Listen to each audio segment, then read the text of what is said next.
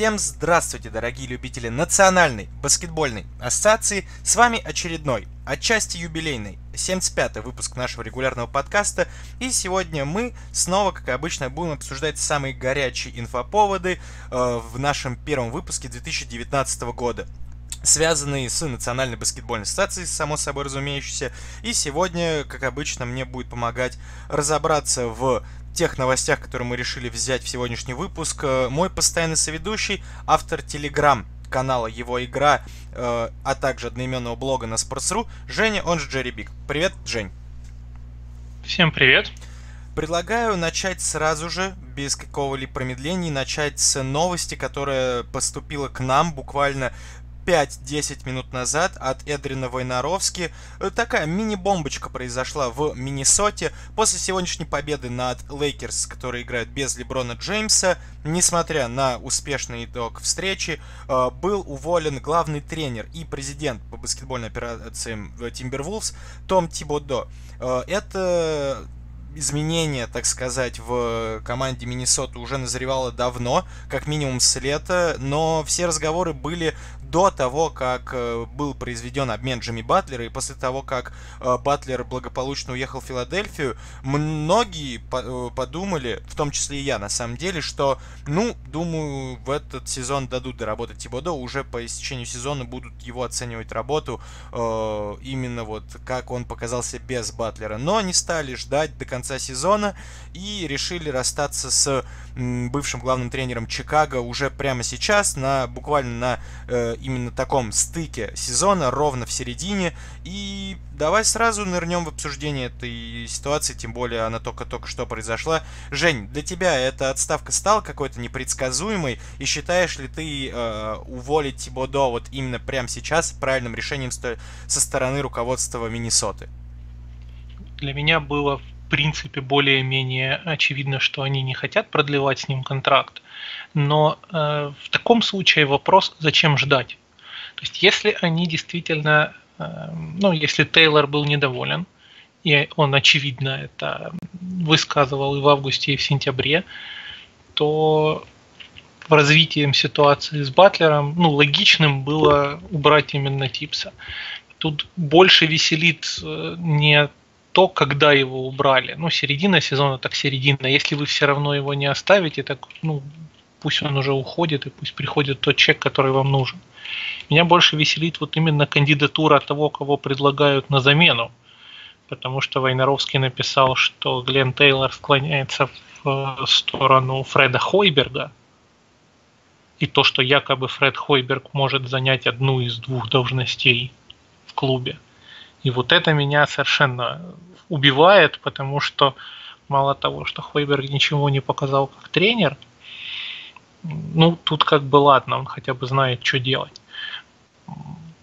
Но как ген-менеджер он в принципе не может, даже на мой вкус, даже рассматриваться по простой причине.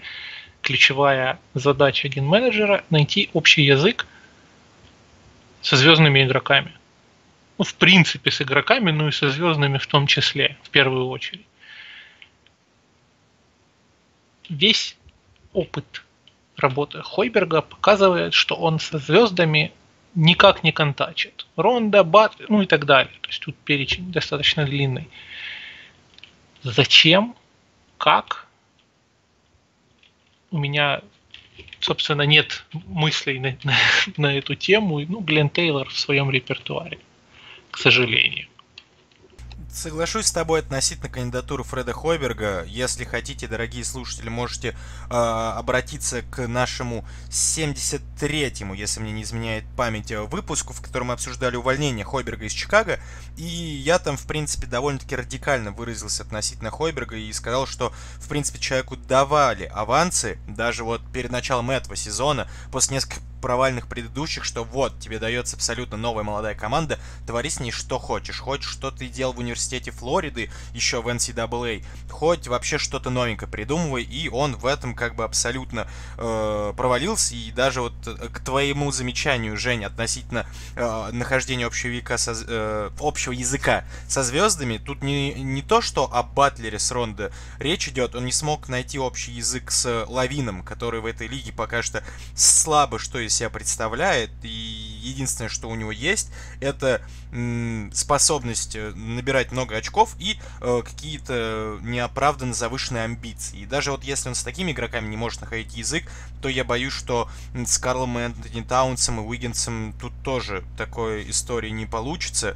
И спорное решение Миннесоты, может быть, они в состоянии аффекта после увольнения Тибодо, находится и просто просматривают самых последних увольных э, тренеров ассоциации и просто по большому счету тычут пальцем в небо. А по поводу увольнения Тибодо, ну, я уже сказал, я немного удивлен, хотя на самом деле э, причины-то, почему это могло произойти, есть. Потому что э, Миннесота не сейчас вроде... Ну, они борются за плей-офф, да, у них показатель 19 побед, 21 поражение, но мне кажется, это максимум того, чего Тибодо мог достигнуть именно вот уже с этим составом после обмена Джимми Батлера.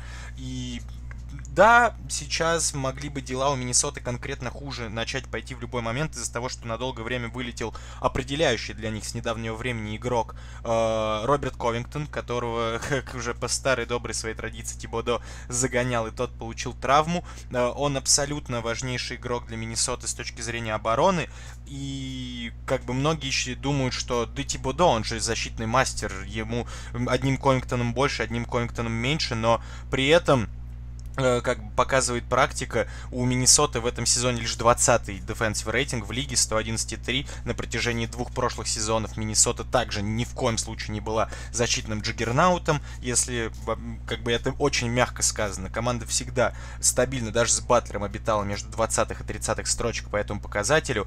Это именно за счет э, чего Тибодо получил эту работу. Эту часть своих обязанностей он вообще не выполнил.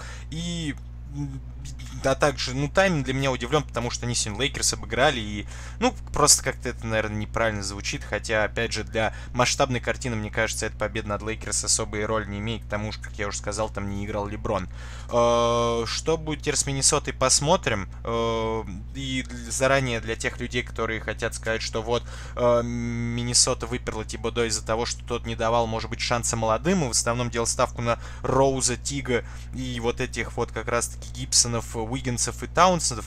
Ну, не сказать, что это правда совсем, потому что тут есть два примера, которые одновременно и подтверждают эту теорию отчасти, и ее опровергают. Опровергает ее пример того, что, например, в этом сезоне по 20 минут в среднем за Миннесоту бегает новичок Джош Окоги, который пока что с, с точки зрения атаки абсолютно нулевой персонаж. У него всего лишь 36% с игры, 24 за дуги, но при этом он выкладывается и делает это очень э, знатно в обороне.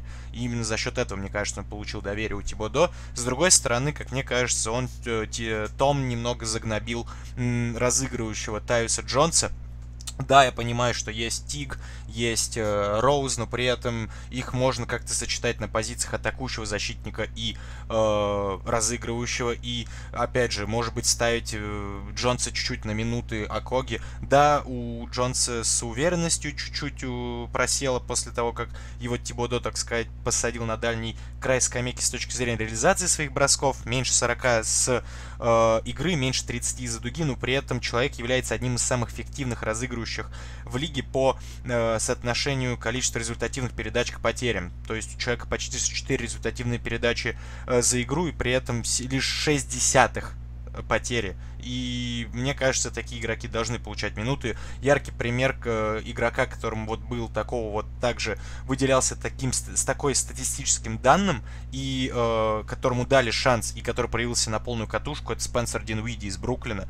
И вот теперь человек стал одним из таких ведущих э, защитников Бруклина, который на минуточку борется сейчас за плей-офф на Востоке. В общем говоря, были вопросы к Тиводо, не могу назвать эту отставку нелогичной, но как-то вот время, тайминг ее меня как-то немножко смущает.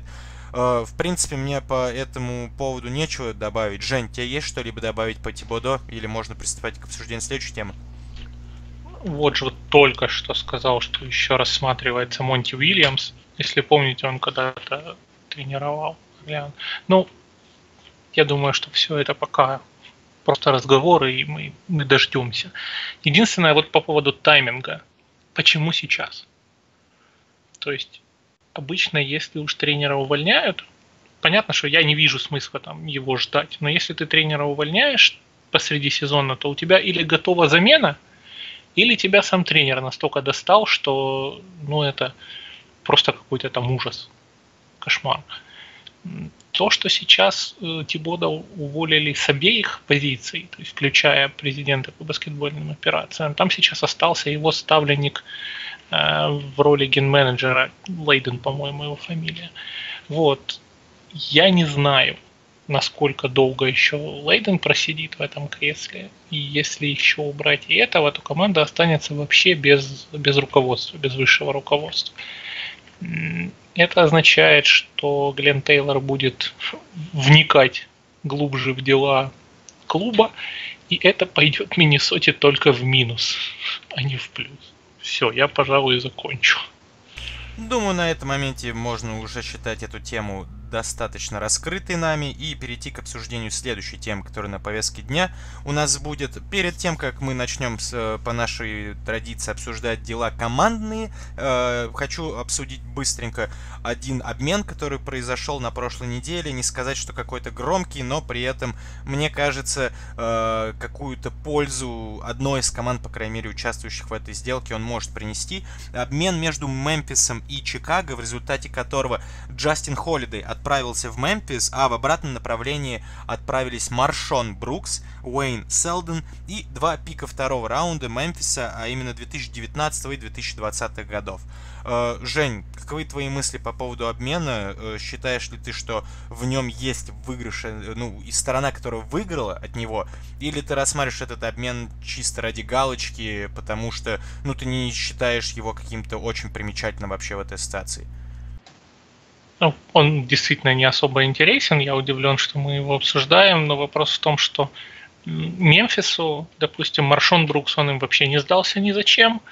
Селден, он достаточно молодой игрок, но почему-то э, Мемфис от него избавляется. Я не знаю почему, я уделял Мемфису достаточно мало внимания, поэтому по Селдену у меня мнение сейчас отсутствует. Может быть, есть какие-то причины, почему он э, ушел из состава. А Джастин Холлиде это был, собственно, единственный более-менее возрастной игрок в Буллс, помимо Робина Лопеса, который не вписывается в долгосрочную стратегию развития команды. Поэтому они согласились его отдать Мемфису. Мемфис вроде как борется за плей-офф сейчас, ну, пытается. В то время как Буллс смотрят в будущее. И Селден, может быть, рассматривается ими как человек, который находясь в той же возрастной категории, что и ядро игроков, Булс э, может быть интересен и полезен. Это единственное, на мой вкус, возможное объяснение этому обмену. Я тебе объясню, зачем взяли этот э, обмен э, в обсуждение сегодня. Я просто хотел, может быть, так вкратце объяснить, ну, э, э, обсудить с тобой ситуацию в Мемфисе сложившуюся, потому что с э, после момента, вот когда мы их так сравнительно э, похвалили э, в одном из наших прошлых выпусков, команда просела в игровом э, плане, и на данную секунду они занимают 12-ю строчку в западной конференции. Они спустились вот на уровень условно Миннесоты и Далласа. У них сейчас 18 побед, 21 поражение поражений, при этом, по слухам, ситуация в раздевалке не самая лучшая, потому что, опять же, судя по недавней информации, там даже дошло дело до, до э, рукоприкладства между двумя э, сокомандниками. Между собой, это Гаррет Темпл и э, Омри Каспи. И э, с этой точки зрения, мне кажется, нужен был какая-то встряска, даже вот, может быть, такая минимальная, э, которая была вот вызвана этим обменом, э, Мишком, потому что, ну, нужно что-то делать, команда реально действительно борется за плей-офф, и сейчас предполагает какие-то вот такие шаги, чтобы эта гонка не закончилась провалом, потому что помимо этого еще э, информация сегодня поступила, что Чендлера Парсонса на неопределенное количество времени отстранили от команды. Ну, не то чтобы отстранили, но просто Парсонс не будет в коллективе, потому что, по слухам, опять же, он там возбухал чуть-чуть, грубо говоря, по поводу того, что я вроде уже здоров, но мне не дают минуты, и почему я должен играть, я зарабатываю больше 20 миллионов в год, а не играть человек, ну, потому что есть игроки сильнее в нынешнем Мемфисе. Если же говорить именно по обмену, я вот буквально одну такую заметку сделал, э, это, безусловно, должно пойти в плюс Мемфису, потому что ни Брукс, ни Селден в этом сезоне не играли. Какие-то существенные минуты для Мемфиса, и вообще это, наверное, игроки, которые в этом году в составе Гризлис числится во многом благодаря тому, что сумели э, так сказать, не дать э, Мемфису в прошлом году стать худшей командой в истории ассоциации, потому что, ну, был тот момент, когда не играл ни Конли, ни Газоль, мы все это прекрасно помним, Тарик Эванс там тогда зажигал, и вот тогда вот именно Маршон Брукс прилетел наконец регулярного чемпионата и закидывал 20 очков в среднем за игру, вот за несколько игр, что играл, и Уэйн Селдон был далеко не на последних ролях, но вот в этом году они свой успех не могли закрепить, так сказать, э, с точки зрения вот самого слабого, наверное, компонента в игре Мемфиса, это вот именно игра с дальней дистанции, которая никогда особо их не было э, коньком. В этом году дела стабильно не очень для них. Они 26 по попыткам э, в лиге с трехочковой и 21 по реализации с показателем чуть больше 34%. С этой точки зрения, если посмотреть на обмен, то он Мемфису должен сыграть на руку, потому что ни Брукс, ни Селдон не стреляли больше 32%. Брукс так вообще 28 э, из-за дуги имел процентов, что ну очень мало по современным э, меркам лиги. А Холидей при этом имеет 36% при 4 попытках в среднем за игру, то есть, может быть, как-то поможет к Мемфису именно усилить э, дальнобойную мощность команды и при этом, может быть, какой-то spacing привнести. Э, вот какие мои мысли по Мемфису. У меня единственный вот последний вопрос относительно этого обмена. Жень, как ты считаешь, вот сможет ли как-то мораль, с моральной точки зрения этот обмен, может быть, как-то привнести положительные изменения в раздевалку Мемфиса, или тебе кажется, что это как бы, ну, чуть-чуть не связанные между собой вещи? Я не знаю, насколько они, эти игроки, которые ушли, влияли на раздевалку, потому что Селден, как я уже говорил, это новичок, ну, второгодка. А Маршон Брукс это человек, который ну, не авторитета особого там какого-то значительного в лиге не имеет ни каких-то достижений. Поэтому может быть это действительно для какого-то улучшения общей обстановки, но скорее всего тут причины исключительно игровые, на мой вкус, потому что Джастин Холлидей это человек, который будет в ротации, а оба ушедших, они из ротации выпали. Ну, все, на мой вкус. Все. Поехали, может, дальше, да? Да, поехали дальше, абсолютно ты прав. Поговорили о проблемах в Миннесоте, предлагаю теперь поговорить о проблемах команды э, в, результ, э, в результате обмена, с которой Джимми Батлер как раз таки уехал оттуда. Это Филадельфия. Да, друзья мои, такого ни разу не было, и вот снова произошло. Джимми Батлер, по слухам, недоволен ситуацией в Филадельфии, и э, по самым ну, разным источникам, по недавней информации, у них состоялся такой конфликт на предматчевых э, установках с главным тренером команды Бреттом Брауном, э, главными пунктами которого был недовольство Батлера с слишком негоистичным стилем игры Филадельфии, потому что на вкус Батлера э, команда должна больше играть через довольно-таки более старомодные комбинации из разряда пик-н-ролл и простые обычные изоляции. Плюс еще давайте к этому приплюсуем недавнее выраженное недовольство Джоэлем Эмбидом, который уже пару раз как минимум в этом сезоне заявлял, что он не очень доволен той ролью, которую ему отводит на поддемии Брэд Браун, тем, что дает ему слишком, ну, большое количество времени играть вдали от кольца, а не вблизи, как любит э, играть камерунец. К тому же, опять же, с Бен Симмонс, по слухам, там тоже не помогает э, ситуации стабилизироваться э, со своими э, какими-то такими замашками на роль первой звезды, при том, что играет он рядом не с Абы с кем, а с Эмбидом и Батлером, на секундочку. И даже вот сегодняшнее интервью Эмбид, который давал он буквально сегодня э, перед э, игрой э, с Далласом, когда он пытался провернуть ситуацию, с, связанную с Батлером, но при этом он по большому счету ее подтвердил, сказав, что да, бывает, что люди приходят, бывает, что люди пытаются встроиться в новый коллектив, и это, ну, иногда нужно давать время на то, чтобы все это произошло. И, ну, по-моему, для меня эти слова стали, ну, очевидным индикатором того, что реально в Филадельфии сейчас все не так уж солнечно, как в одноименном сериале. Э, и хочется задать тебе вопрос, Жень, как тебе кажется, обоснованы ли претензии к Бретту Брауну э, от Батлера и Имбида в частности, или как бы вот то, что делает Батлер сейчас, это просто у него в крови, выражать недовольство всем, чем что ему попадает под взгляд, и является ли Батлером идеальным э, примером э, старой доброй русской поговорки «не понос, так золотуха». Как тебе кажется, кто в этой ситуации прав, кто виноват? Ну, я не готов кого-то обвинять и выносить суждения. Мне кажется, что... Давай так. Играет ли Филадельфия так, как она могла бы играть с учетом трех игроков из топ, ну давай топ-30 лиги, может топ-40, потому что Симмонс где-то далеко внизу. Она играет так, как она могла бы. Ну, я так скажу, после обмена Батлера я не увидел какого-то резкого скачка в игре Филадельфии. Э, то есть, мне кажется, она вот как играла вот на уровне вот 60-70% э, побед, так и продолжал играть даже после прихода Батлера. Но я это связываю не с тем, что звездные игроки вот в лице этого трио как-то себя недопроявляют, а в том, что состав у Филадельфии просто вот между лучшими четырьмя игроками команды и остальными и, э, исполнителями в ростере просто слишком большая разница, я вот так вот скажу. Ну, у Golden State примерно та же ситуация. Они идут чуть-чуть лучше. Тут вопрос, для меня лично вопрос в том, что э, Браун не в состоянии найти варианты использования этих игроков.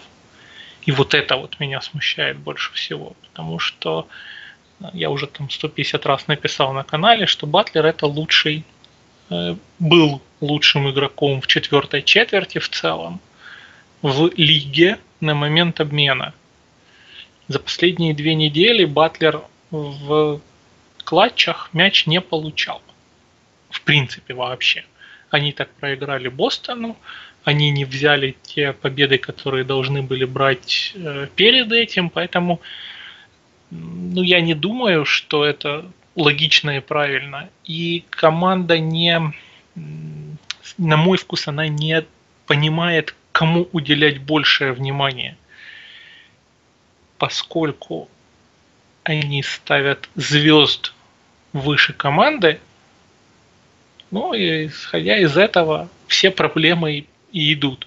Потому что если бы все принято ругать Сан-Антонио, но по факту, если обратить внимание на систему Сан-Антонио, у них всегда интересы командные стояли выше интересов личных, выше интересов людей. И то, что Кавай ушел, это в частности является отражением того, что интересы команды стояли выше, чем интересы дяди Денниса. И это его не устроило. Ну, а Кавай просто оказался между, между молотом и наковальней, и поэтому пошел за семьей. Что касается данной ситуации, вот у них есть Джейл Эмбит. Понятно, что это человек, за которого надо держаться, и который, в принципе, ну, в топ-20 в лиге входит железно. Я не хочу ставить его там куда-то на конкретное место, он там между пятым и двадцатым местом. Дальше у вас есть Батлер, который, в принципе, тоже где-то вот в тех же пределах обитает. Кто как хочет его может оценивать, но где-то между там 10 и 20 местом Батлер тоже там же находится. И есть Симмонс, который теоретически мог бы вырасти, но явно не может. Симмонсу нужен мяч в руки и команда вокруг него. Симмонса не просто так сравнивали с Леброном, потому что из-за отсутствия броска он должен э, быть единственным человеком, который несет э, постоянную угрозу из краски. А соответственно, команда с Батлером и Эмбидом – это не команда для Бена Симмонса. Поэтому если бы у Филадельфии были достаточно крепкие, ну давай скажем, нервы, они бы уже сейчас искали обмен под Бена Симмонса. Но чего нет, того нет. Поэтому, на мой вкус, то, что сейчас происходит, это логичное следствие посредственности тренера. Э, потому что для того, чтобы выстроить игру вокруг трех звезд, играющих примерно одинаково и любящих атаковать из почти одной и той же зоны, для этого надо быть очень-очень-очень серьезным специалистом. И это не про Бретта Брауна. Я его хвалил в прошлом году за именно за его способность найти общий язык с игроками и способность поддерживать хорошую атмосферу в команде. Но то, что он не лучший тактик, это вот сейчас бьет по шансам Филадельфии очень сильно. Если помнишь, после обмена я сказал, Филадельфия теперь строго занимает четвертое место по силе в конференции. Вот они сейчас на четвертом месте, и я думаю, что четвертое место это их, скажем так, потолок и, соответственно, их же пол.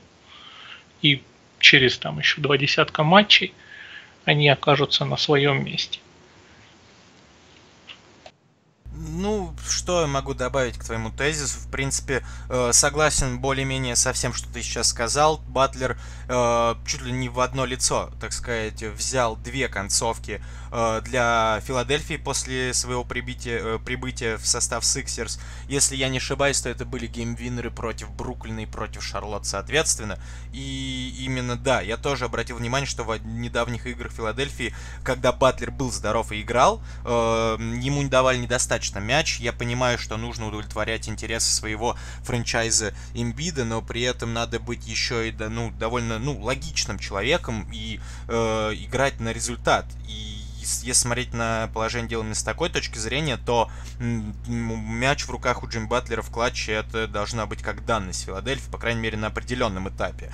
Но я не могу сказать, что я прям обвиняю Бретта Брауна в том, что Филадельфия вот оказалась в той ситуации, в которой она оказалась, потому что мне кажется, что сейчас Браун для Филадельфии является неким таким, если вы мне позволите такую аналогию, Кевином Лавом э, времен чемпионского Кливленда, когда любая проблема случалась, то был один козел отпущения, в чьи стороны летели вот все шишки. И вот мне кажется, Браун оказался сейчас заложником вот похожей ситуации, потому что, ну, с игровой точки зрения мне даже на самом деле не к чему к нему прикопаться. Команда играет по-современному. И, ну, очень много атакуют с трехочковой дистанции, несмотря на то, что потеряли, ну, как минимум одного своего, одного из самых лучших своих трехочковых шутеров в лице Ковингтона, вот в обмене с Батлером.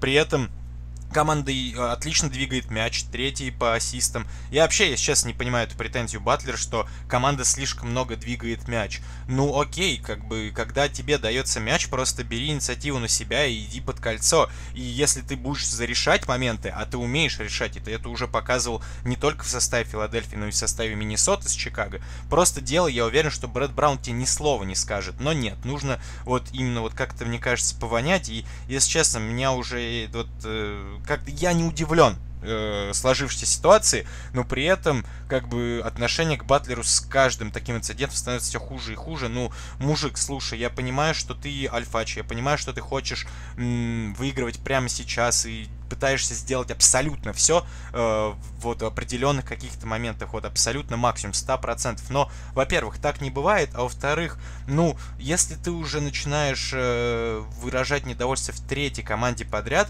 при этом та причина, по которой ты вроде как гнобил игроков Миннесоты, что там не хватало э, желания выигрывать прямо сейчас, у тебя с лихвой восполняется Эмбиидом и Симмонсом, по которым видно, что, по крайней мере по Эмбииду, что они вот готовы рвать и метать прямо сейчас. А теперь ты приходишь и жалуешься на командную игру, ну, come on, честно, э, очень надеюсь, что Батлер все-таки чуть-чуть э, поадекватнее станет воспринимать свои силы, свою важность в этой лиге, э, и, ну, как минимум, что Эмбит с Симмонсом ему покажет, что, дружище, хватит э, создавать слона из мухи, потому что вот мы тут есть, ты сейчас отдохни, играешь ли ты не из-за того, что у тебя травмы, или не играешь ли ты из-за как раз этого пресловутого конфликта. Вот смотри, мы выигрываем, хочешь присоединяйся и побеждай с нами на протяжении следующих лет, хочешь уходи. Вот мне хочется, чтобы именно такая ситуация произошла, потому что если летом э, Джим Баттер все-таки решит снова сменить команду, то, во-первых, ну это будет, мне кажется, в лиге расценено очень э, не, э, неоднозначно, потому что ну, человек дал вроде как свое добро при обмене из Миннесоты, и за него отдали не самые последние активы в лиге. И если он не сдержит свое слово, то, во-первых, это, мне кажется, ударит по репутации, но, во-вторых, вот третий случай конфликтности. Мне будет очень интересно вот в такой ситуации посмотреть, кто из команд ассоциации рискнет кинуть в него максималкой. Сакраменто, я думаю, потому что как бы команда хорошо порой в этом сезоне не играл, но менеджмент у них остается все тот же. Это Ранадиви с Дивацем. И да, мне кажется, единственное, что мне бы хотелось у тебя, Жень, спросить перед тем, как мы э, закруглимся с э, обсуждением Филадельфии, как тебе кажется, по крайней мере по ситуации вот на сегодняшний день, как тебе кажется, ты бы стал бы напрягаться на месте Филадельфии относительно вот э, воз, ну, возможного ухода Джимми Батлера? Или все-таки слишком рано о чем-то таком э, говорить, э, что вот действительно Батлер сейчас серьезно рассматривает возможность покинуть 76-х? Вряд ли он рассматривает такую возможность. А насчет того тезиса, о котором ты говорил, что давайте вот э, Симон с Эмбидом скажут вместе, они не скажут вместе. В этом еще одна такая небольшая проблема, потому что они между собой не друзья вообще никак. И то, что они не, ну скажем так, не являются э, хорошими, дополняющими друг друга игроками, это опять-таки отрицательная, так сказать, заслуга Брауна. Симмонс без броска, он в эту команду не впишется. И если Батлер с Эмбидом они будут и могут играть в паре. Батлер с Симмонсом уже хуже, но тоже они могут играть в паре. То есть любые два человека из этой команды, они нормально будут смотреться. Все втроем это не самый лучший вариант. Поэтому Сиксеры должны определиться просто, кого они хотят оставить. Я абсолютно понимаю там возмущение Батлера, я понимаю возмущение Эмбида, потому что он считает, что он должен быть первой звездой, Батлер считает, что он должен быть первой звездой. У Симмонса на эту тему свое мнение, поэтому ну, это классическое, когда в товарищах согласия нет и все такое, поэтому я даже тут особо останавливаться не буду. А насчет того, уйдет Батлер или не уйдет, э, если Филадельфия его не переподпишет, это будет логичным следствием их политики, точнее отсутствия их политики, потому что они ведут себя не совсем логично. Давай скажем так. Ну да, тут еще можно и плюсануть э, и пресловутую историю с Фульцем, который уже не играет довольно-таки давно. И если они как бы даже не могут, так сказать, спустить курок по, по решению ситуации с Фульцем, то о каком решении вопроса там с возможным обменом Бена Симмонса, о котором вот ты говорил, э, и по которому ты абсолютно прав, как мне кажется, о каком вообще вот таком настолько серьезном решении может э, идти речь. При всем уважении к Элтону Бренду как к игроку, но мне кажется, да, рановато он пришел на роль генерального менеджера, и вот этот вот как раз все страхи, которые витали в время того, когда Филадельфия пытались найти генерального менеджера, о том, что будет очень много людей принимать участие в процессе, в связи с чем не будет какого-то постоянного согласия относительно каких-то быстрых решений, как мне кажется, оправдались, и э, ну, положение дел в офисе Филадельфии прямо сейчас это подтверждает. Посмотрим, потому что у нас уже на самом деле уже совсем скоро обменный дедлайн. Сможет ли вот такую свою обменную потенцию Филадельфия как-то э, изменить? Ну, а, опять же, трейд Батлера не в счет. Э, и порешать хотя бы вопрос вот как бы с Фульцем, а не то, что там с Симмонсом. Ну а так, да, на данную секунду четвертая строчка Филадельфии на Востоке. Э, Женя считает, что они вот где-то там, наверное, и будут. Я э, скажу, что мне кажется, их, может быть, одна команда сможет пододвинуться этой четверки но об этой команде мы поговорим сегодня чуть-чуть попозже, а пока что предлагаю приступить к обсуждению одного западного коллектива, очень симпатичного мне в этом сезоне, э, нерационально симпатичного, но все равно э, команда, которую, как мне кажется, можно отнести к числу, на данную секунду, по крайней мере, к числу одного из фаворитов на попадание в финал западной конференции прямо сейчас. И я веду речь об Оклахоме Сити Тандер, который мы в этом сезоне детально не разговаривали пока что и спешим исправлять свои ошибки. Команда Билли Донована на данную секунду занимает вторую строчку в западной конференции конференции э, прямо за Денвером, э, имея в своем активе 25 побед и 13 поражений. При этом команда занимает 20-ю строчку в ассоциации по offensive рейтингу с показателем 108,8 и являются абсолютными э, лидерами по defensive рейтингу с показателем 102,6. И я напомню, что пока что в этом сезоне за них не провел ни одной минуты на паркете, вроде как предполагающийся перед началом этого сезона, по крайней мере, лучший защитник этой команды Андре Робертсон, который до сих пор лечится от серьезной травмы, которую получил в прошлом сезоне. Но вот как-то даже без него Оклахома является просто зубод... зубодробительными э, с точки зрения игры на своей половине площадки. И как бы хочется обсудить их успех и его закономерность. Жень, каковы твои вообще впечатления от э, перформанса Оклахомы в этом сезоне?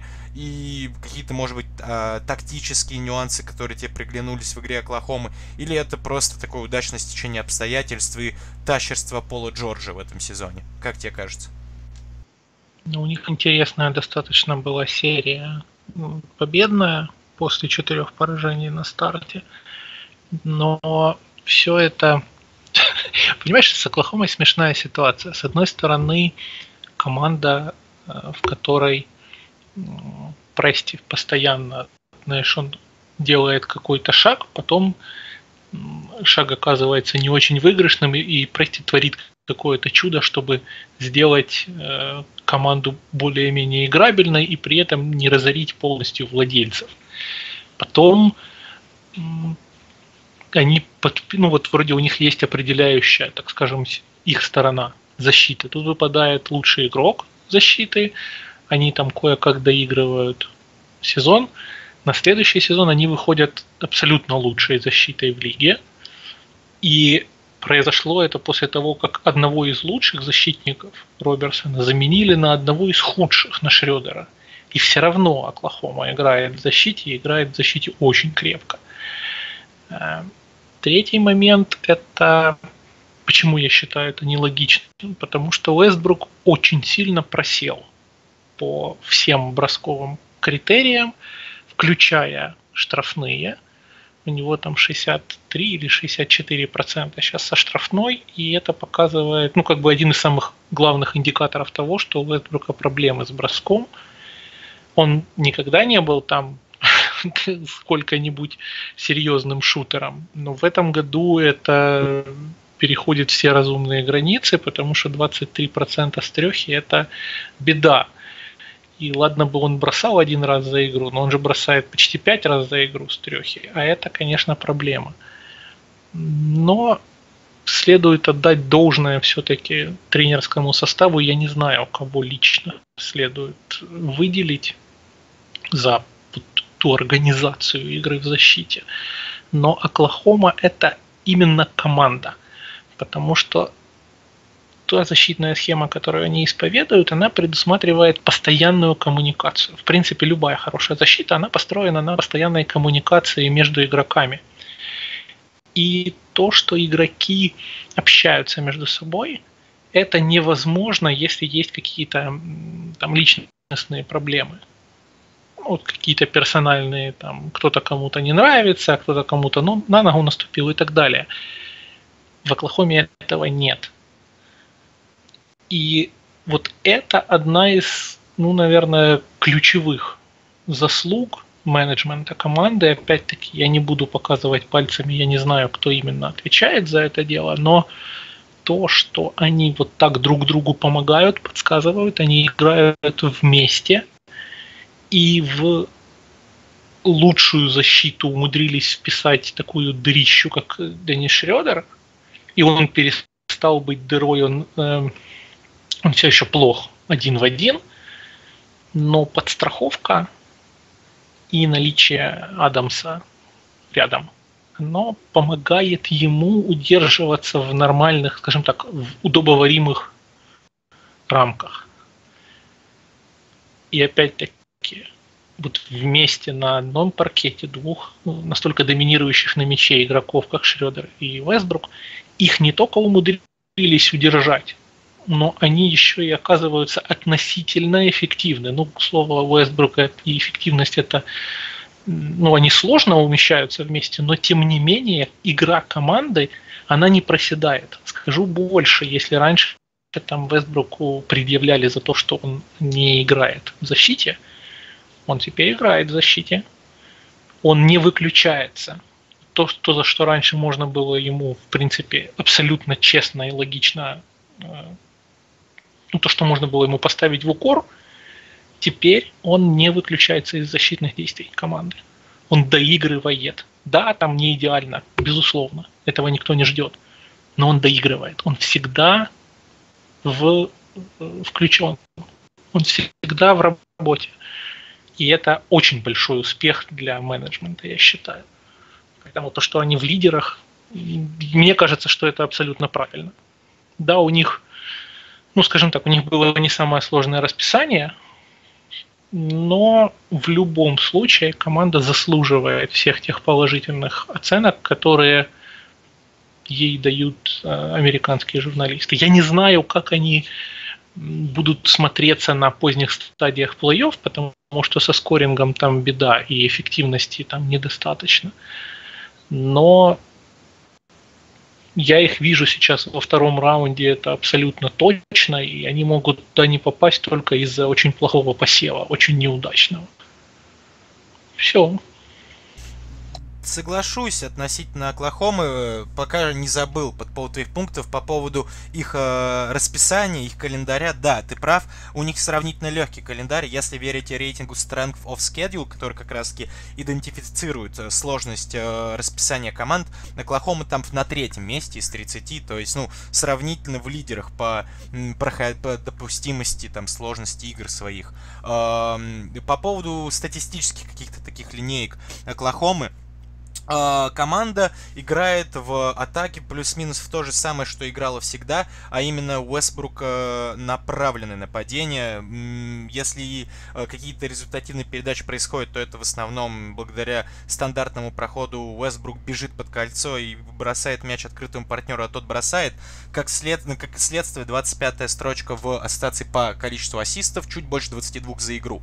Мы в прошлом выпуске с тобой, Женя, обсуждали э, Сан-Антонио как такую такую команду адап, адепт эм, баскетбола прошлой эры э, без какого-либо большого количества э, трехочковых бросков э, с большим э, ну с большим так сказать, наклоном, э, уклоном в средние. У Оклахомы в этом плане даже на самом деле э, чуть-чуть ситуация похуже, я так скажу, только тут, наверное, у них замещаются не средними бросками, а именно какими-то э, дерзкими пароходами под кольцо и монструозной игрой Стивена Адамса на чужих счетах, который является, если я не ошибаюсь, лидером, конферен... Э, лидером ассоциации по количеству подборов нападений, около пяти, всего у Адамса чуть больше 10 подборов за игру, э, и вот за счет этого как-то вот Оклахома живет, потому что если посмотреть вот на пятерку, э, ну, пятерку ключевых игроков Оклахомы прямо сейчас, в которые входят Пол Джордж, Рассел Уэсбрук, Стивен Адамс,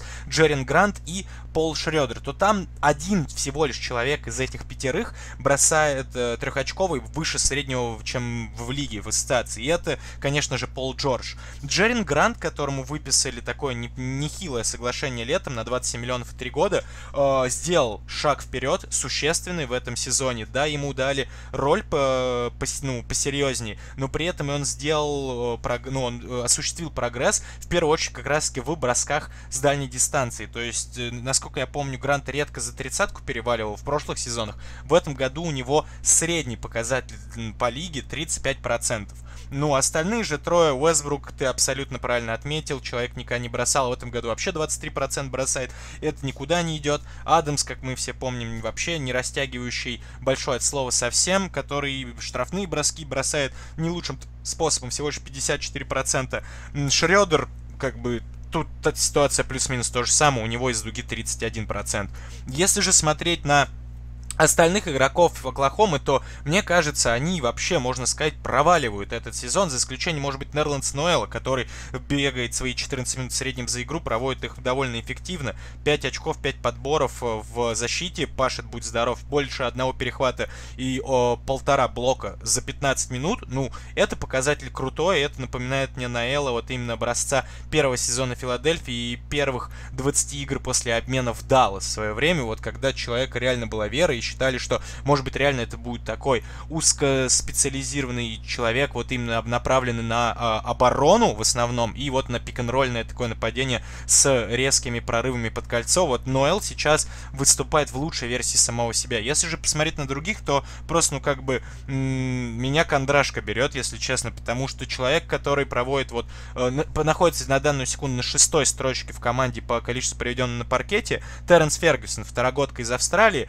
но он абсолютно неэффективен от слова совсем. Он проводит по 21 минуте в среднем на паркете, при этом у него 38% с игры, 30 из дуги, и он ничего не делает, кроме как вот пытается безуспешно забросить мяч в кольцо. В обороне он вот кроме старательности мне ничем абсолютно не, за, не приметился.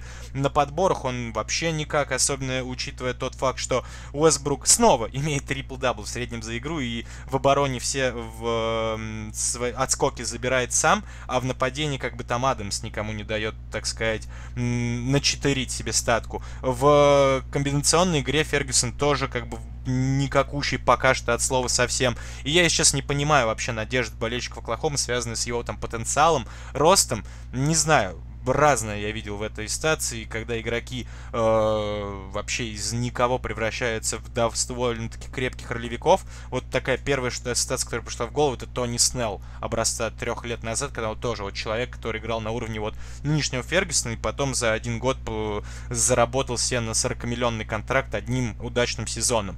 Может быть и с Фергюсом такое произойдет, но в этом году пока что он никакой. А Бринес, человек, который должен был становиться одним из главных снайперов Оклахомы в этом сезоне, имеет 32% из дуги. Патрик Паттерсон, с которым произошла какая-то абсолютная э, метаморфоза, потому что до подписания контракта с Оклахомой он был очень хорош в Торонто, и когда он подписал трехлетнее соглашение на 15 миллионов стандер, я считал, что это просто, ну, одно из самых лучших подписаний того года, а в итоге второй год подряд человек не может пробить 35% с игры, и ну, хотя бы в этом сезоне больше 30 из дуги бросает, что лучше, чем в прошлом сезоне, но при этом все равно очень плохо относительно того, насколько Паттерсон умел раньше играть, по крайней мере в составе Торонто. И да, и то, что вот Оклахома имеет такой результат, по большому счету играя в ротации там 6,5-7 человек, именно вот каких-то вот серьезных людей, потому что да, там это не Майк Дент, не Хьюстон, где играют реально 7 человек. В э, Оклахоме есть Стив Фелтон, и даже некому э, Дандре Бертону дают минуты там по 8-10 за игру. То есть с ротацией все у Билли Донована в порядке, но вот именно с точки зрения выхлопа, мне кажется, вот таких людей, ну вот 6-6,5, кто реально дает результат Оклахоме, и тем для меня удивительно то, что они сейчас идут на второй строчке. Я искренне рад за них, потому что Оклахому мне всегда хотелось поддерживать именно вот благодаря тому, что Женя адресовал вот в своем э, монологе о том, что всегда Сэм Прести вроде как творит чудеса, а потом эти чудеса приводят его к разбитому корыту, который он клеит э, каким-то ПВА э, и пытается надеяться на то, что он нормально будет стоять, функционировать, а потом вот этот склеенный тазик из ПВА, даже э, в нем помещается больше воды, чем помещалось раньше. Ну, то есть реально какие-то чудеса происходят. И я очень рад то, что м- такое именно происходит сейчас с Оклахомой. Э, перед тем, как мы как-то под, э, сфинализируем наше обсуждение Оклахомы, у меня есть тебе вопрос, Жень. Но я так понимаю, ты что-то хочешь сказать до моего вопроса, так что ну, прошу. По поводу, да, по поводу Абринеса ты так сказал, что вот человек там э, вклады и так далее. Человек 6 игр уже пропустил. Причем пропускает он их по причине э, какие-то личные проблемы. Никто в команде вообще ничего не говорит об этом игроке у них нету никакой официальной информации о том, когда Бринес вернется. Может быть, фаны Оклахомы знают лучше, я, к сожалению, не, ну, не обладаю какой-то информацией, помимо там твитов Ройса Анила изнутри, по, э, ну, Ройса Ян, господи, Янга, неважно. И мне, вот, э, к сожалению, к сожалению, непонятно, что там происходит вот с Абриносом. Ну, по поводу Фелтона и его внешнего вида я, конечно, уже прошелся. Человек не совсем в баскетбольной форме, он потихонечку, потихонечку худеет, но выглядело это не совсем здорово. Поэтому то, что они играют действительно очень ограниченным в плане э, эффективности составом, это ты абсолютно прав. И тем не менее, тем не менее, вот то, что каждый отдает себя в защите, это дает результат в целом команде. Ну вот относительно вот как раз и ограниченного количества людей, которые могут давать вот какой-то выхлоп команде, с, именно с этим у меня будет последний вопрос, связанный по Оклахоме, после которого мы перейдем к обсуждению следующей команды. Жень, э, возвращение Андре Робертсона, ну, ближе к концу этого сезона, насколько я понимаю, ну, оно неизбежно, и Андре Робертсон рано или поздно вернется. Как тебе кажется, вот после того, как он вернется, вот как, каковы мы Робертсона знаем? Это элитный защитник, который, в котором сейчас, ну, Робертсон вообще, по сути, сейчас является идеальным отображением Оклахомы. Это элитный защитник без какого-либо броска. Как тебе кажется, вот его внедрение после травмы, э, он даст Оклахоме буст, ну, то есть улучшит их результаты, может быть, даже вот там за счет э, большего там какого-то вклада в игру на своей э, стороне площадки, или наоборот, это может сейчас порушить вот все игровые схемы Билли Донована путем вовлечения Андре Робертсона на какие-то серьезные минуты. Вот какой твой прогноз относительно этого вопроса? Мы не знаем, каким он вернется. И это, наверное, будет ключевым в ответе на твой вопрос, потому что кем бы там он ни был раньше, сейчас это будет другой игрок. Травма у него была тяжелая, он уже два раза выпал из того графика, который они обещали, и непонятно, когда он вернется. То есть теоретически вот они должны оценить его состояние в середине января, если они только оценят его состояние, то, соответственно, не раньше, там, через, чем через две недели он появится. Поэтому есть у меня определенные сомнения в том, что он будет большим, значимым фактором для ситуации в команде. Если это будет прежний Робертсон, во что у меня веры нет, то тогда он станет на свое место на двойку, и Шредер просто уйдет во второй юнит. Но как надолго он будет? Понимаешь, проблема у них не в защите, проблема у них в атаке. В атаке он им не помощник, соответственно, минуты у него будут ограничены. Поэтому насколько его импакт будет сильным, я думаю, что не очень. Каким бы он ни вернулся будем следить за развитием э, событий в Оклахоме. Э, вероятно, поговорим до конца регулярного чемпионата об этой команде еще раз. Как раз таки, может быть, обсудим возвращение Андре Робертсона. Но на данный момент, мне кажется, мы осветили все важные аспекты, о которых хотели сегодня поговорить. Поэтому, считаю, можно приступить к обсуждению следующей команды, которую мы сегодня хотели э, порассуждать. Я сказал, что Филадельфия, может быть, кто-то избросит с той четвертой строчки, на которой она сейчас занимает. И я, конечно же, само собой имел в виду Бостон Селтикс, команду, вокруг которой было очень много ожиданий хайпа, э, говоря современным языком. Перед началом сезона говорили, что это главный криптонит в борьбе против Голден Стейта, а в итоге по прошествии ну, первой половине регулярного чемпионата Бостон занимает лишь пятую строчку Восточной конференции с показателем 23 победы и 15 поражений.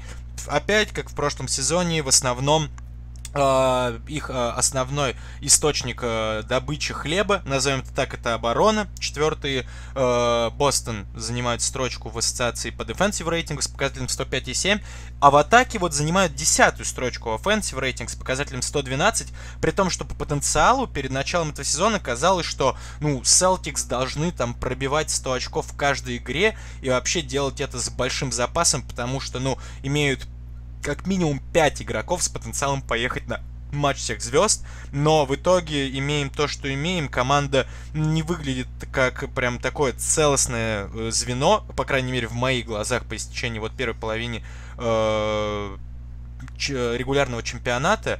Жень, давай, как всегда, ты задашь тон нашему разговору. Как тебе Бостон в этом сезоне? Можешь ли ты сказать, что он тебя разочаровывает? Или, в принципе, ты не видишь э, ничего страшного в том, что команда на данную секунду не оправдала возложенные на нее перед стартом регулярного чемпионата ожидания? Меня разочаровал один единственный человек, это Брэд Стивенс, потому что он должен был сделать больше, он этого не сделал. То, что получается в итоге, полностью на его совести потому что менеджмент минут и менеджмент ролей – это на 100% работа тренера.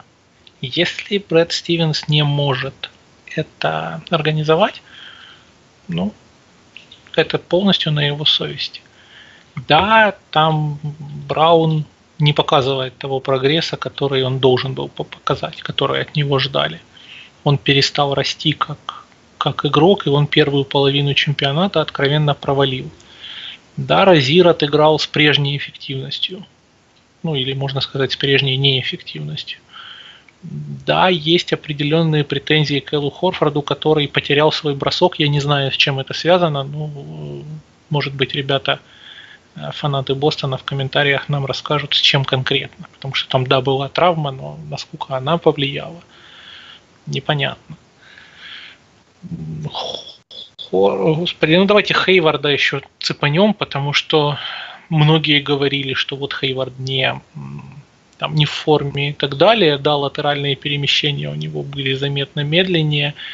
А, постепенно Хейвард вышел на свою форму, но вот с ним происходит то, о чем я говорил еще год назад, когда его подписывали, что Хейвард это не идеальный вариант для Бостона, потому что он не, ну, не тот go-to scorer, которого они искали. То есть не тот скорер, который будет э, брать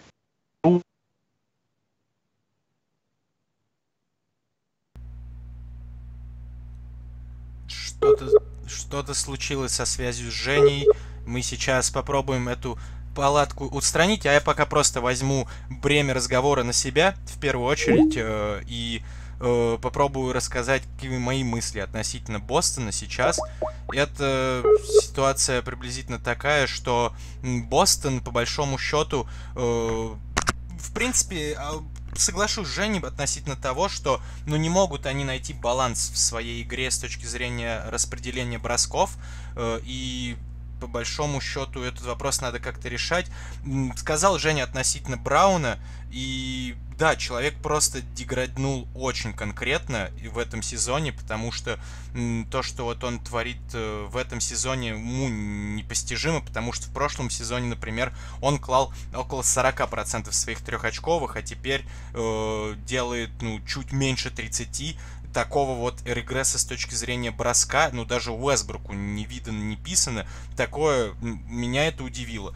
Также меня удивил я ожидал, признаться честно, видимо, чуть-чуть я э, потерял нюх, так сказать, в своем баскетбольном романтизме, назовем это так, но я ожидал какого-то большего шага от э, большего шага вперед от э, Джейсона Татума и тот э, как бы не сказать, что совсем как-то спустился вниз, но какого-то серьезного э, шага вперед с Джейсоном Татумом я не наблюдал.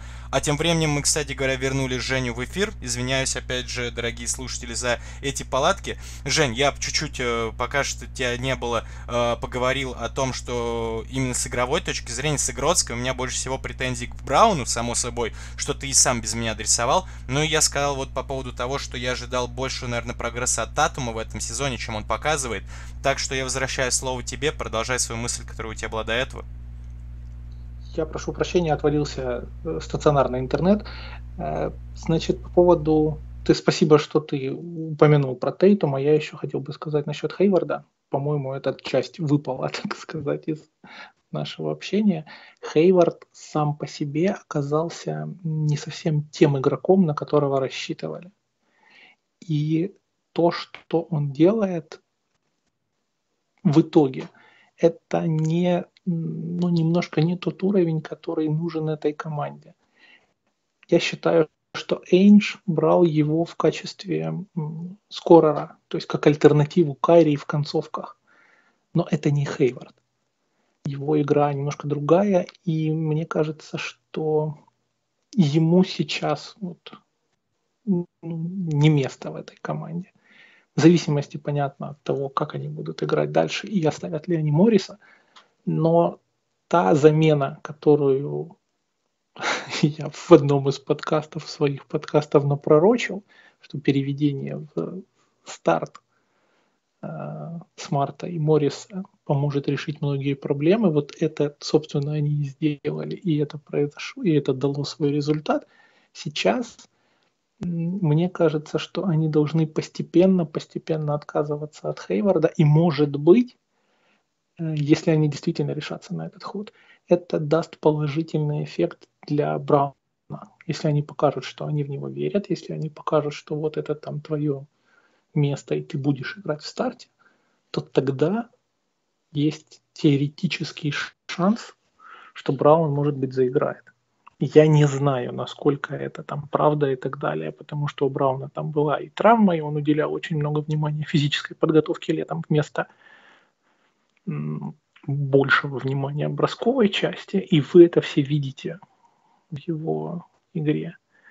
Но мне кажется, что ключевая проблема это то, что Хейвард на сегодня не показывает того, что он должен показывать. И э, бросочек Хорфорда, он не на том уровне, на котором он был в прошлом году. Команде нужны, для того, чтобы команда играла и могла идти в плей-офф высоко, максимально высоко, ей нужен в оптимальной форме каждый игрок. Без исключения каждый, и, и то не факт, что они смогут пробиться там через защиту Торонто или через Оклахо... или через Милуоки, в которой все полетит. Поэтому мне кажется, что тут будут, будут большие вопросы, и это будет очень сложно для команды. Ну, как, как получится, покажет только время. Самое забавное, вот что ты э, продолжаешь, э, так сказать, референсить э, просевший бросок Хорфорда. В прошлом году он бросал, по-моему, на уровне 44% из дуги, сейчас он бросает 37%. Даже при таком большом просеве, который, безусловно, отражается на Бостоне, и тут я с тобой соглашусь, но даже при этом, как бы, Хорфорд далеко не является, мне кажется, ключевой там причиной вот просева в некоторых аспектах, потому что ну, все еще он на вполне удоваримом уровне, 37% из дуги, э, и в обороне он также все еще является одним из самых недооцененных игроков, которые, как мне кажется, вообще вполне себе могут э, побор... ну, опять, как всегда, которого не будет никто даже ставить э, на там в, при голосовании за лучшего защищающегося игрока, хотя он, ну, чуть-чуть хотя бы этого заслуживает. Если брать какие-то статистические э, метрики по Бостону, то что хочется отметить, это вот именно вот современный баскетбол Стивенс, который продолжает гнуть свою линию, делает это довольно-таки хорошо. Третье место по попыткам с трехочковой дистанции, 36,5 э, попыток за игру в среднем. И шестые по проценту их реализации, чуть меньше 37%. С точки зрения игрового, ну, игротского, то есть если брать какие-то вот именно кандидатуры, помимо тех людей, которых ты сейчас отозвался, Кайри Ирвингу, ну, не должно быть никаких претензий. Человек играет на хорошем уровне, очень эффективно набирает очки является лидером коллектива на паркете, хорошо разносит, так сказать, разря... Э, снаряды своим партнерам по команде, в обороне выкладывается на уровне прошлого сезона, что за ним ну, никогда не наблюдалось в составе Кливленда. И да, абсолютно ты прав, Жень, Маркус Моррис в этом году просто рвет и меч, проводит, наверное, свой лучший сезон. Не мудрено, у человека контрактный год, будем смотреть, что из этого всего выйдет, но вообще он сейчас играет на невиданном для себя доселе уровне, 50% игры, 44 из-за дуги. Э, он является в момент, когда Ирвинга, пожалуй, нет на паркете, э, лидером таким духовным и ментальным для Бостона, постоянно заряжает своих партнеров, пытается их мотивировать, какие-то кричалки собирает в круги. В общем, круто. Маркус Моррис, мне кажется, я всегда думал, что Маркив Моррис из э, тандема вот этих братьев поадекватнее молодой человек, но вот Маркус Моррис за последние два года поменял мое мнение кардина... кардинально, просто на 180 градусов, и при этом Маркив Моррис сделал это то же самое, э, в принципе, э, в Вашингтоне, доказав, что, в принципе, все-таки в его сторону авансов давалось чуть-чуть больше, чем следовало бы, и следовало больше внимания обращать именно на Маркуса. А, последний вопрос в обсуждении Бостона, который мне, тебе бы хотелось задать, Жень. А, Дэнни Эйндж, для Дэнни Эйнджа сейчас наступает самая веселая пора, и я не имею в виду его троллинг Леброна Джеймса в сравнении с Дональдом Трампом, я имею в виду э, обменный дедлайн, который должен скоро наступить, и я вижу как минимум двух-трех игроков, которые ну, могут вообще очень спокойно покинуть Бостон в этом межсезонье, и, ну, я в первую очередь, конечно же, имею в виду Терри Розира, у которого этот год последний по его контракту новичка, а в следующем году он ограниченно свободный агент. Не уверен, что Бостон согласится выписывать большое соглашение своему защитнику, э, которому не, пред, ну, не собирается предоставлять очень уж серьезные минуты второй год подряд. Напомню, что прошлым летом Маркус Смарт выписали довольно-таки жирный чек в Бостоне. А также, ну, как мне кажется, Джейлина Брауна вполне себе могут кинуть куда-нибудь э, под отвал, потому что все-таки, да, я соглашусь с твоим тезисом, что если Хейварда куда-нибудь толкнут и Э, тем самым дадут буст Брауну. Я не говорю, что это неправда, но я считаю, что Гордон, на Гордона Хейварда сейчас покупателей ну, не будет от слова совсем, потому что ну, человек имеет максимальный контракт и играет ну, на уровне, ну, не на самом как бы слабом уровне, не спорю, но при этом нету гарантии того, что человек даже близко вернется к э, формам себя такого старого. Э, как тебе кажется, вот какие твои ожидания будут от поступков Дэнни Эйнджа вот на флажке э, в этом феврале? И вообще ожидаешь ли ты что-либо от него видеть? На флажке он точно ничего не будет делать, потому что если он летом молчал и ничего не делал, и ждал, что будет показывать эта команда, то пытаться что-то менять и проводить какие-то изменения сейчас в дедлайн, не имея возможности встроить полноценного игрока, нового игрока в свою команду, нет, он ничего не будет делать. Максимум, что это, если вдруг упадет им в руки какой-то более-менее приличный ролевик с рынка выкупов, а не с выкупа, а не с рынка, не с дедлайна, то, может быть, тогда он кого-то подберет. И то скорее, чтобы не достался другой команде. Во всяком случае, я бы в эту сторону смотрел, чем в плане поиска усиления для собственного коллектива. Если уж Эйндж сделал ставку на команду сейчас, в том состоянии, в котором она есть, то было бы логично остаться на этом же, ну, остаться на этом же и следовать своему, своей стратегии, своему видению. Поэтому вряд ли они будут в дедлайн что-то там сильно активничать. Понимаешь, многие называют их э, следующей целью Энтони Дэвиса, но Дэвис для них сейчас недоступен, поэтому все шаги будут отложены на лето. Скорее всего, именно так. Ну да, последнее, что хочется мне отметить по Бостону, что я не успел сказать, то, что я ожидаю все-таки то, что они все-таки залезут на пару ступень повыше Восточной конференции. Конечно, не думаю, что они смогут догнать Филадельфию и Торонто уже, ну, потому что те команды действительно уже такую мощную поступь организовали, которую, как мне кажется, они не собираются Милуоки и Торонто, да? Милуоки Торонто. Извини. А я что сказал? Что-то другое я в любом случае сказал. Ну, Сиксерс, да. Да, не, я имел, конечно же, Милуоки, Торонто, извиняюсь за оговорочку. Да, и даже Индиана, мне кажется, не может быть в зоне безопасности, потому что у Бостона, если верить Баскет Рефу, по тому самому рейтингу, о котором я сегодня уже говорил в разговоре про Оклахому, Strength of Schedule, который говорит о сложности расписания, Бостон на 24-й строчке в ассоциации, то есть, ну, они в шестерке команд, которому, ну, пришлось пока что жестче всего в плане расписания, перелетов, бэк-ту-бэков, игры с сильными соперниками, и сейчас должно стать полегче, и команда, мне кажется, стала чуть-чуть постабильней по сравнению с э, отрезком в конце ноября, начало декабря, когда у команды были, ну, какие-то такие критические моменты, когда даже были сборы игроков в раздевалке для обсуждения проблем. После тех пор как бы команда стала постабильнее, я вот думаю, что в троечку Бостон все-таки сможет залезть. Может быть, Индиана сможет э, себя защитить от натиска кельтов, но вот за Филадельфию я очень как сильно не уверен, и я думаю, что Бостон к концу сезона сможет все-таки э, получить, э, иметь за собой право домашнего э, превосходства в первом раунде плей-офф. Но пока что да, Бостон что-то такое себя представляет, будем также за ними смотреть, следить, обсудить. Ну а пока предлагаю э, обсудить последнюю тему нашего сегодняшнего выпуска, ставшая уже сравнительно регулярной рубрикой нашего подкаста «Гонка за MVP».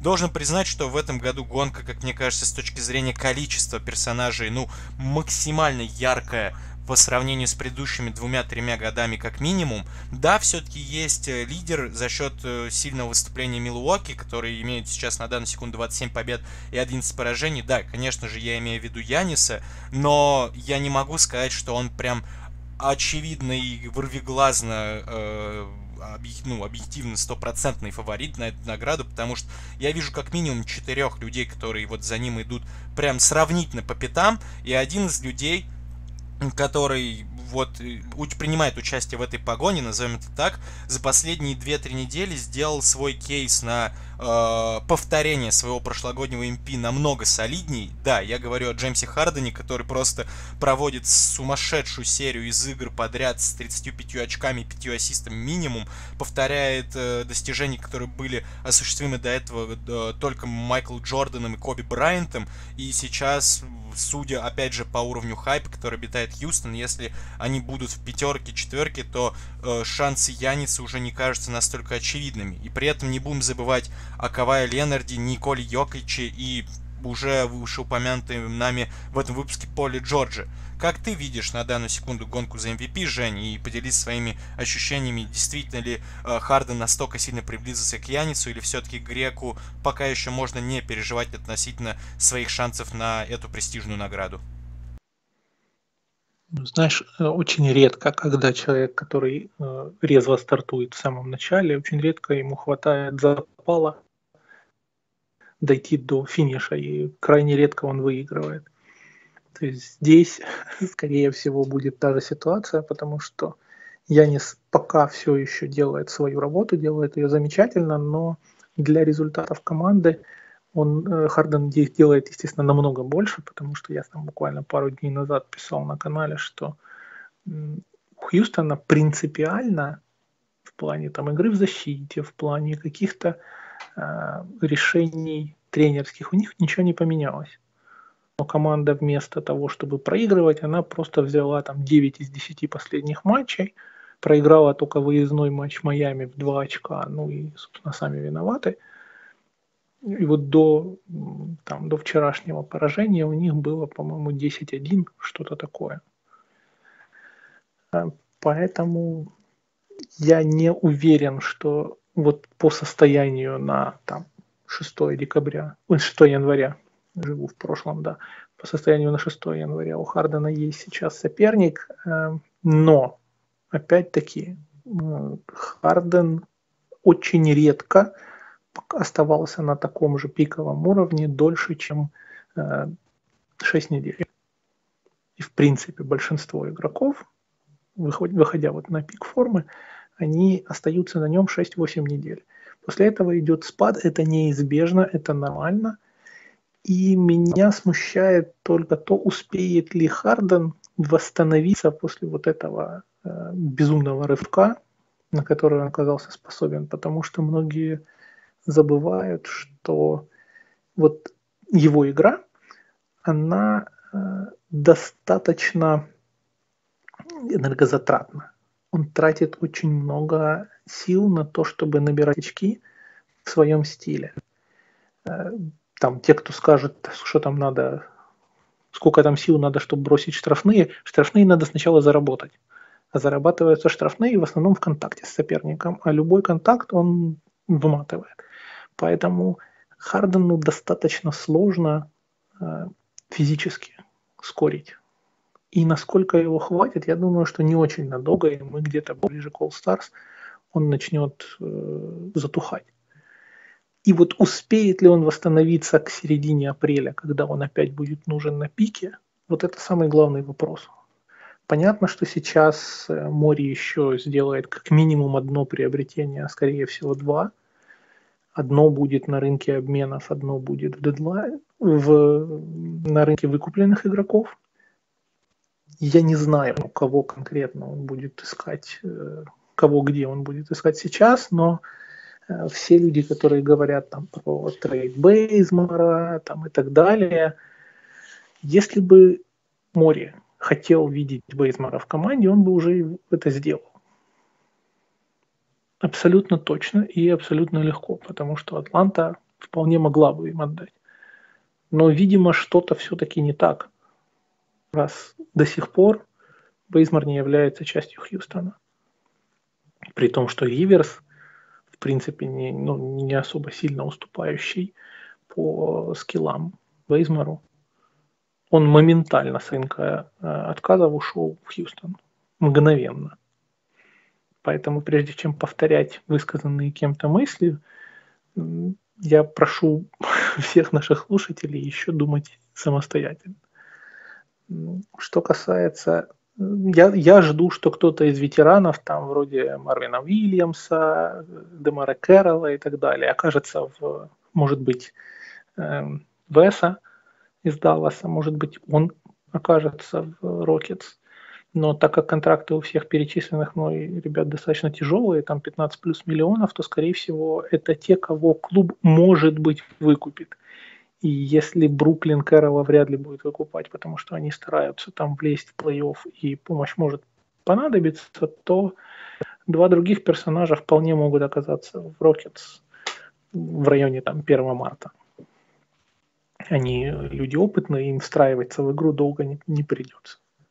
Если же мы вернемся ближе к теме нашего разговора про гонку за MVP, то вот помимо... Извини. Да, да не, не, ничего страшного, чем больше контента, тем лучше. Но вот если возвращаться к этому разговору, то Янис и Харден, как вот и между ними, на твой взгляд, большая разница между другими игроками, там, опять же, как я уже сказал, Кавай, или Йокич, у которого тоже был сумасшедший такой двухнедельный промежуток, в котором он там делал в среднем трипл-дабл, и, ну, на самом деле, если посмотреть цифры Йокич, то ума не приложишь, что это именно вот такой большой, семифутовый, и вообще, ну, как, как такое возможно? Ты их вообще не рассматриваешь уже в этой гонке? Или рассматриваешь, но Йоки... с очень Йокича нет.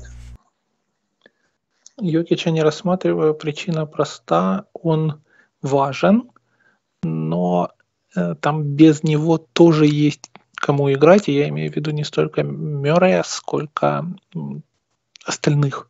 Да, понятно, что Йокич организует игру, безусловно, но его можно выключить, и это продемонстрировал и Сан-Антонио не так давно, и в принципе тактика там более-менее очевидна и понятна.